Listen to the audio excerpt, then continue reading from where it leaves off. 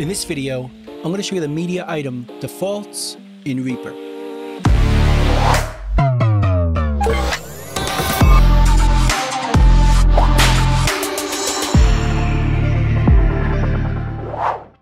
Now, as a quick review, everything we see in Reaper, all these clips, are called items or media items, whether they're audio or MIDI or even video.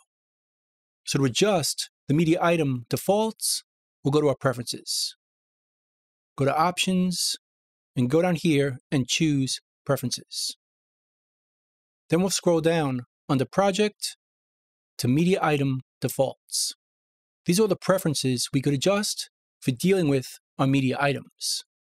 And in this video, we're going to focus on the looping preferences in this section over here. This first option, which is on by default, is going to loop our items when we import them. So let's import this drum loop from my hard drive and drop it in. Let's make it a bit smaller. And if we trim it out, by default, it's going to loop. As we can see right here, these little triangles, these are each loops that we dragged out. And it's going to do the same thing on the left side of our item. If we drag it out over here, it's also going to loop.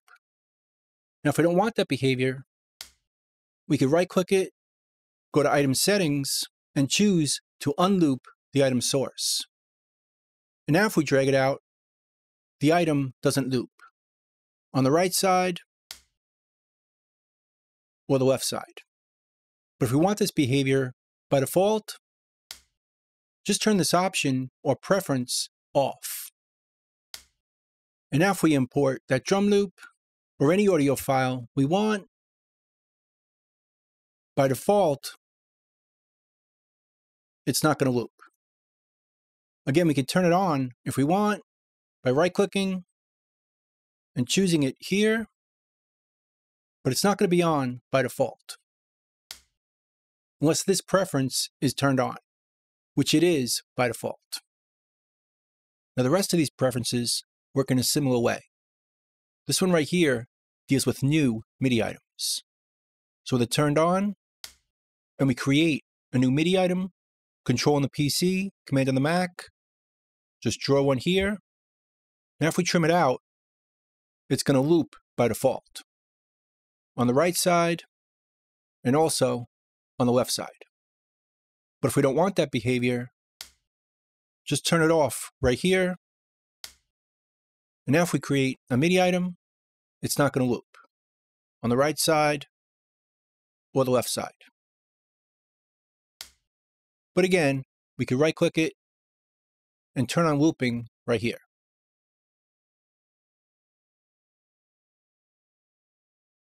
But by default, it won't loop unless this option is on. And just like the others, it is on by default. Then this preference is for recorded items.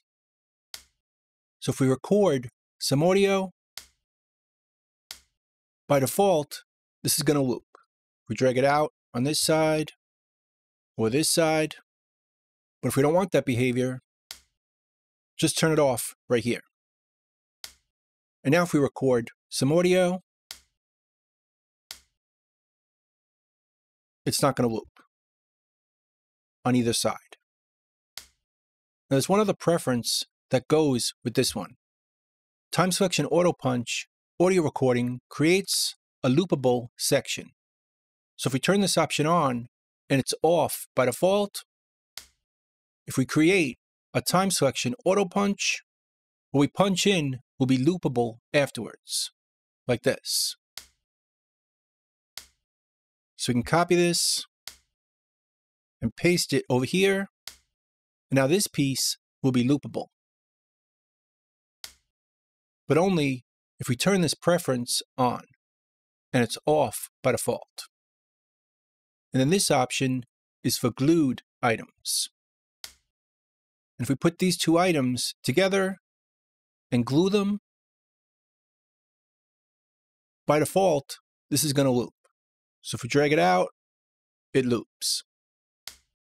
But if we don't want that behavior, just turn it off right here. And this option, just like the others, is on by default.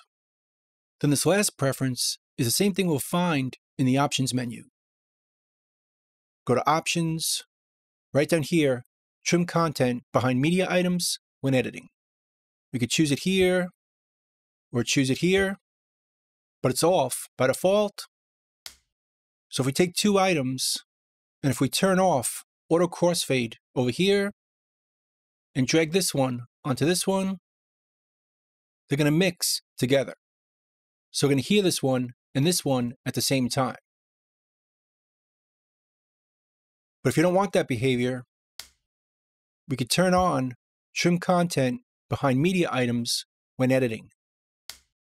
And now, if we drag this item onto this one, they don't play at the same time.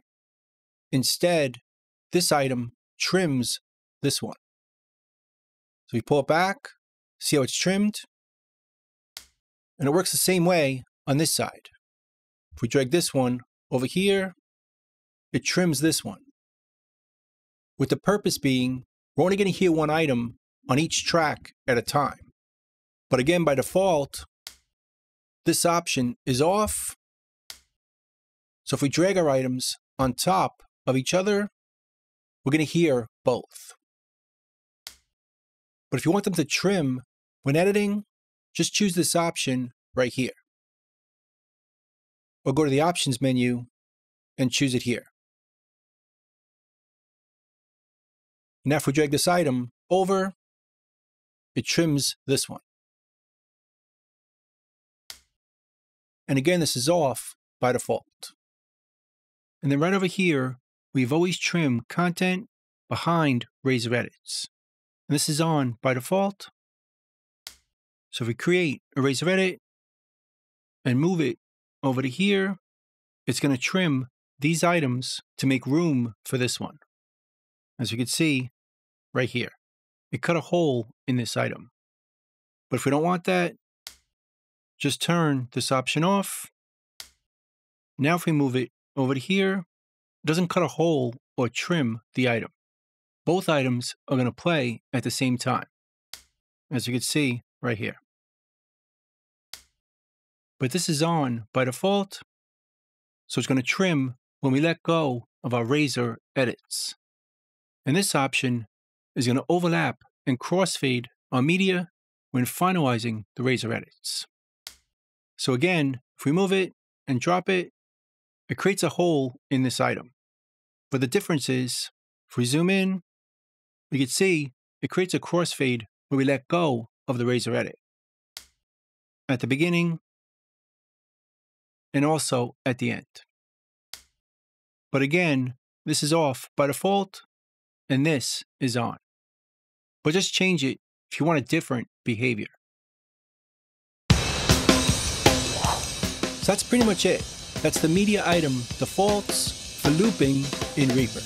I hope you learned something, hope you can use it, and I'll see you next time.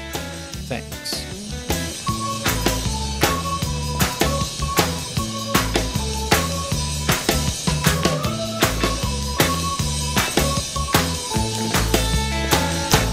Bingo, boys, let's go.